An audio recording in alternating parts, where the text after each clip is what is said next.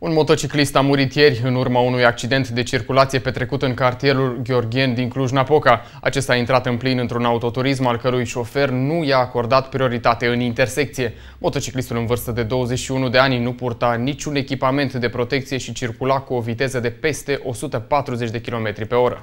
Tânărul care și-a pierdut viața lucra ca și mecanic la un atelier de reparații motociclete aflat la aproximativ 150 de metri de locul producerii accidentului. Reparase o motocicletă și s-a gândit să o încerce, uitând că nu are permis și fără să poarte casca de protecție. A fost lovit de o mașină a cărui șofer nu i-a acordat prioritate, iar motociclistul a murit pe loc. Da, nu am fost pe fază, nu mă l-am văzut, era deja pe jos, deci nu am văzut prea multe. S-a izbit de ce? S-a izbit de o mașină.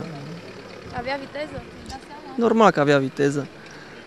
Avea echipament? Cască? Nu avea nici echipament de protecție, nici cască deloc. Au trecut două mașini și a înaintat domnul. Și motocicleta dintr-o dată. M-am văzut că o... din senin? din senin. Nu, nu știu cum a avut timp să reacționeze. Da, avea viteză.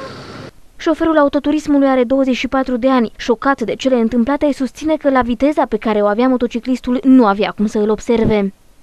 Din primele cercetări, conducătorul autoturismului Opel nu a acordat prioritate de trecere motociclistului care circula pe drumul prioritar. Vitezometrul s-a blocat la viteza de 150 de km la oră. În urma expertizei vom stabili cu exactitate viteza motociclistului. Conducătorul autoturismului nu a consumat băuturi alcoolice. Poliția încă efectuează cercetări pentru a stabili cine se face vinovat de producerea accidentului, a declarat purtătorul de cuvânt al IPJ Cluj, inspectorul Alma Brehariu.